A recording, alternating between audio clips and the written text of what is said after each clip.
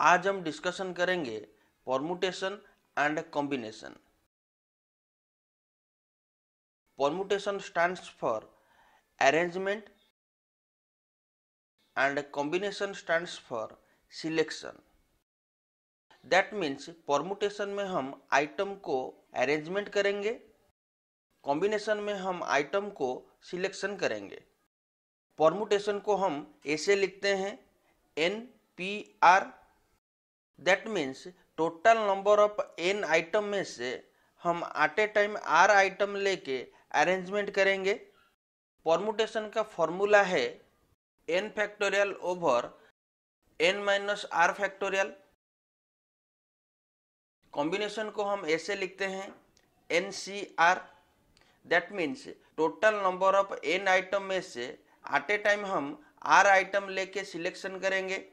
Combination का formula है n factorial over r factorial into n minus r factorial then हम factorial find out करेंगे। N factorial means the product of numbers from 1 to n. n factorial means 1 to n तक जो भी number होगा, हम उसका product find out करेंगे। N factorial equals to n into n minus one into n minus two into n minus three into three into two into one for example five factorial equals to 5 into 4 into 3 into 2 into 1 equals to 120. Similarly, 4 factorial equals to 4 into 3 into 2 into 1 equals to 24. 3 factorial equals to 3 into 2 into 1 equals to 6. 2 factorial equals to 2 into 1 equals to 2 1 factorial equals to 1 0 factorial equals to 1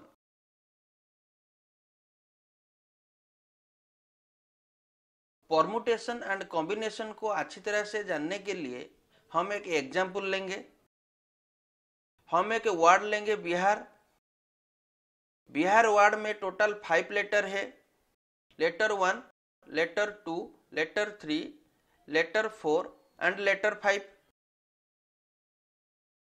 यहाँ पे total letter equals to five suppose हमको बोला जाएगा at a time three letter लेके जितना हो सकता है उतना वार्ड बनाने के लिए। तो हम फ़र्स्ट बी आई एच लेंगे। तो वार्ड हो जाएगा बी आई एच देन हम एच ए आर लेंगे। सेकेंड में वार्ड हो जाएगा एच ए आर देन हम आई एच ए लेंगे। तो वर्ड होगा आई एच ए देन हम बी आई ए लेंगे तो वर्ड होगा बी आई ए देन हम बी आई आर लेंगे तो वर्ड हो जाएगा बी आई आर देन हम एच ए बी लेंगे वर्ड हो जाएगा H A B then B H R लेंगे। तो वर्ड हो जाएगा B H R.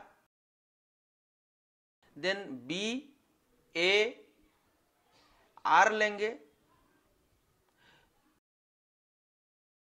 तो वर्ड लिखेंगे B A R.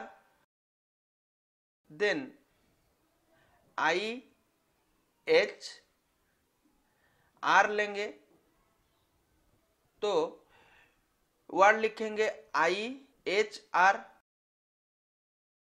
then I A R लेंगे तो वर्ड हो जाएगा आई ए आर यहाँ पे टोटल टेन वर्ड हो गया। टेन वर्ड से ज़्यादा वर्ड हम बना नहीं सकते हैं। तो नंबर ऑफ़ सिलेक्शन और कॉम्बिनेशन इक्वल्स टू टेन यहाँ पे कॉम्बिनेशन इक्वल्स टू टेन आया। ये आंसर सही है कि नहीं, हम कॉम्बिनेशन फॉर्मूला में प्रूव करेंगे। कॉम्बिनेशन का फॉर्मूला हम जानते हैं। N C r equals to n factorial over r factorial into n minus r factorial here n equals to 5 and r equals to 3 so ncr equals to 5 factorial by 3 factorial into 5 minus 3 factorial